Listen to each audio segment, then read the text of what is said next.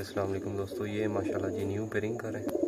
ये शिकरा नार है, साथ में ये उड़ी उड़ाई शिकरी माती है। ये अभी इसके पर पूरे नहीं, अभी भी तीन चार तीन चार बजे तक बैठ रही है माशाल्लाह ना। तो अब ये नार लगा, मादी लगा रहे हैं, इसके साथ देखते हैं, क्या करते हैं।